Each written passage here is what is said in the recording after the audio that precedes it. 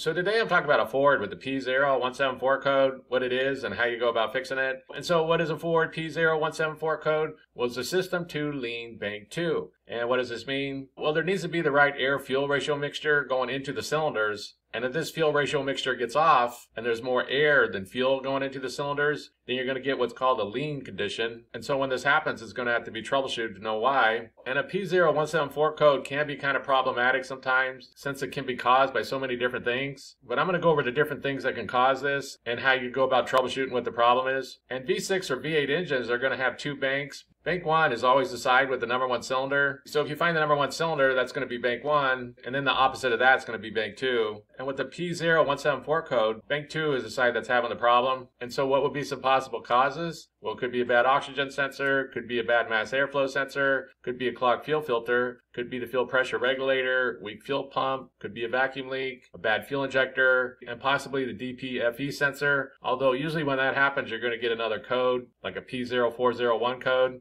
And that is something to pay attention to, that if you are getting other codes, be sure to pay attention to those because they can help point you to what the problem is. And so the thing that's triggering this code is the Bank 2 Sensor 1 oxygen sensor, also called the upstream oxygen sensor. And a lot of people, when they get this code, they automatically go swap out this oxygen sensor, but it doesn't necessarily mean that it's bad. But if it does go bad, it could be reporting bad data back to the computer and just thinks that there's a lean condition going on. And since that oxygen sensor might be good, I would test it first, but a lot of people just go ahead and replace it. But however you want to do it, the first thing to do is to go check out that Bank 2 Sensor 1 oxygen sensor and be sure that it's working correctly.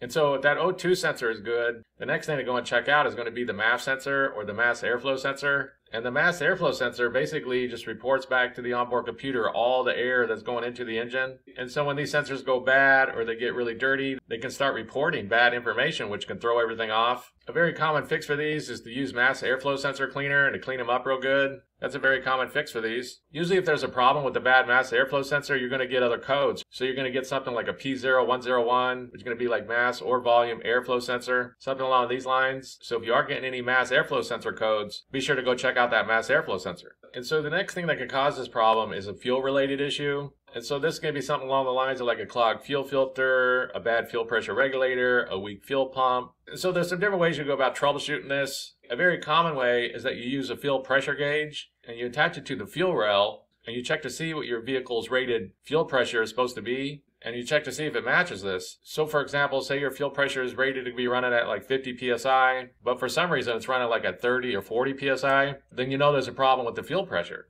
And if the fuel pressure is weak, then this would be something like a bad fuel filter, which can sometimes be inside the gas tank. It's really going to vary. It's going to depend on the vehicle and the year and things like this. Quite often there's inline fuel filters that are down on the frame somewhere. So if you do have one of these, it's a good idea to go and just swap out since it is part of regular maintenance anyways. But a clogged up fuel filter is going to cause weak fuel pressure. Weak fuel pressure can also be caused by a fuel pump that's going bad. So you can go test the fuel pump and be sure that it's working correctly. If you check the fuel pressure at the fuel rail and it tests good, then there might be something wrong with the injectors. One of them might have gone bad or is not working correctly or clogged up or something along these lines. One way you can go about trying to see if one of the injectors has failed is that if you go look at the spark plugs on bank 2 and just see what the burn pattern is, then you can find out which cylinder or cylinders is having an issue. Because when the cylinder is firing, it gives off different burn patterns. And there's burn charts that you can look up online or things like this that you can match to to find out how it's burning. For example, if you're getting too much gas, it's going to be really dark black. If it's burning lean, it's going to be much more white, depending on how lean it's burning.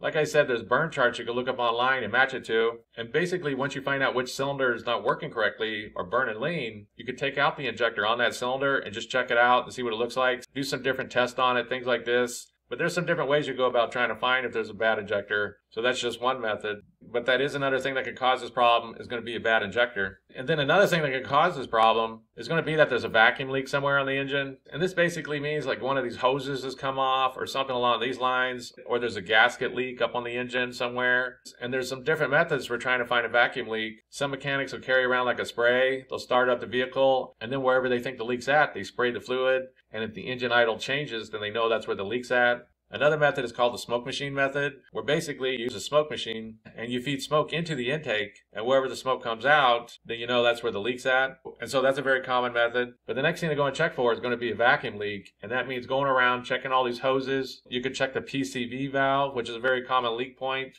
But basically, just look at all those hoses and try to see if there's a vacuum leak. Because if there is a vacuum leak, then it's going to cause issues. And so that's basically it. I just wanted to give a basic overview of how you go about fixing a Ford with the P0174 code. If you have anything to add, please comment down below. If you have any questions, ask me and I'll try to answer them. If this video helps you, please click like, please click subscribe, and have a good day.